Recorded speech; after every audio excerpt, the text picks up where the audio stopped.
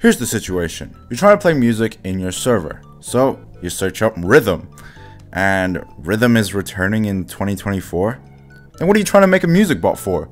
So what we're trying to do today is make a music bot that can search for, queue, and skip music. We're going to try and do that in 50 lines of code. So the first thing we need to do is install some modules. So we're going to install PyNACL, Pineapple, P Pinnacle, Discord, and YouTube DLP and then we're going to wait for this to install.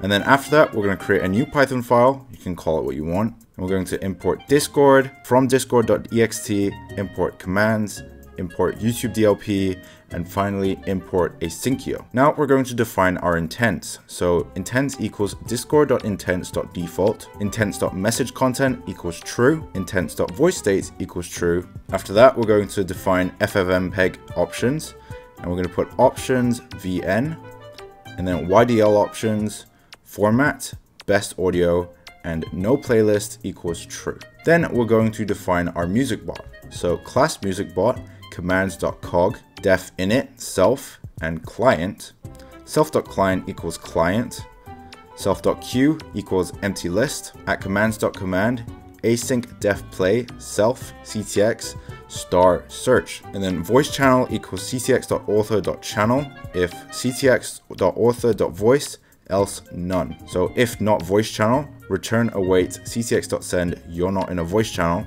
So if there's no voice channel, then send you're not in a voice channel and if not CTX voice client, await voice channel.connect. Async with CTX.typing, so this will make it look like the bot is typing whilst it's trying to get the information. With YouTube DLP.YouTubeDL YDL options as YDL, info equals YDL.extract info, and then F YouTube search, and then search in the curly brackets and download equals false. And then if entries in info, info equals info, square brackets entries, and then zero. URL equals info URL, title equals info title, self.queue.append URL and title. Await ctx.send, added to queue, star star, curly brackets title. If not ctx.voiceclient.is playing, await self.play next ctx. And we're about to define this function. So async def play next self ctx. If self.queue, so if there's something in the queue, then URL title equals self.queue.pop0. So then source equals await discord.ffmpeg opus audio from probe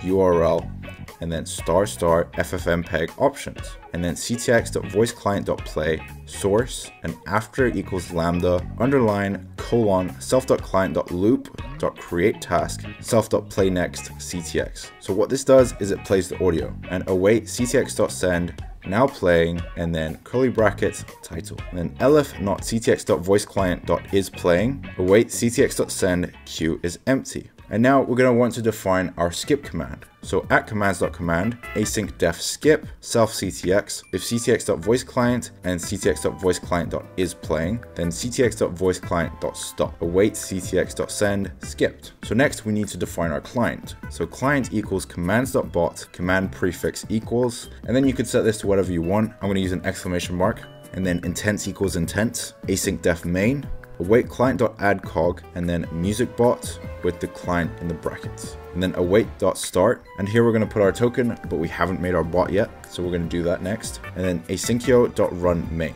And now I'm going to show you how to make a bot. We're going to go to the Discord developers website, and in our applications, we're going to want to click new application, and I'm just going to call this example, but you can call it whatever you want. And in your bot, you're going to click bot. We're going to give our bot these intents. So presence intent, server member intent, and message content intent, which basically allows our bot to access more information and do more things. On the installation tab, you're going to click install link and then Discord provided link, and we're going to add it as a bot.